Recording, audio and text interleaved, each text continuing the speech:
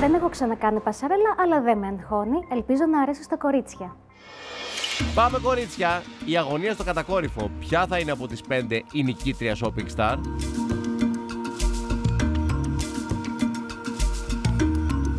Ας δούμε πρώτα τη Βαλεντίνη και μετά κάνουμε τις προβλέψεις μας. Έτοιμες!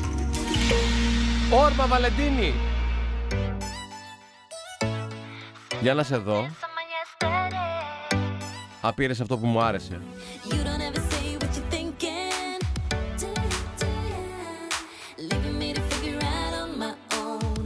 Τι κρίμα που δεν βαθμολογώ εγώ.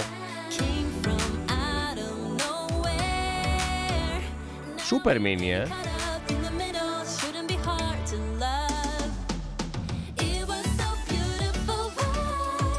Ωπα παιδί μου, τι έγινε, τι βράβευση είναι αυτή; Βαλεντινάκι μου, τι κουκλίτσα είσαι εσύ. Δεν ξέρεις πόσο μου λείπουν σκουλαρικάκια στα αυτιά σου. Το ήθελε, ειδικά τώρα που τα έχεις πιάσει.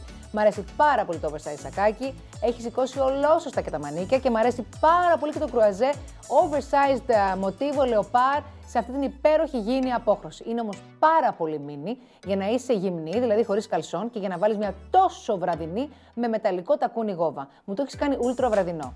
Ε, το τσαντάκι φυσικά και δεν πάει με το υπόλοιπο, γιατί με αυτή την τσάντα ήθελες οπωσδήποτε ντεμίο πακ καλσόν και μια πιο ήπιον τόνων γόβα, σουέτ, με ένα χαμηλό τακουνάκι, τύπου Τζένι Καρέζη. Αυτό.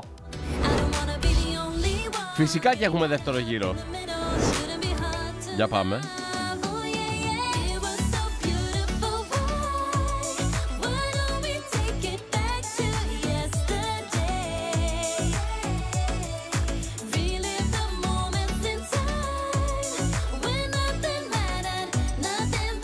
Βαλεντίνη, για πες μου, πώς ένιωσες την πασαρέλα; Την πασαρέλα Ναι. πέρασα ωραία, ωστόσο ήμουν πάρα πολύ αγχωμένη.